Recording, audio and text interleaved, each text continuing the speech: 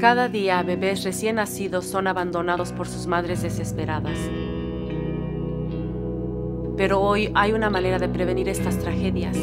La ley Safe Haven permite que las madres dejen a sus bebés en un hospital sin ninguna pregunta. Es seguro, legal y completamente confidencial. Safe Haven, un refugio seguro para madres y sus recién nacidos.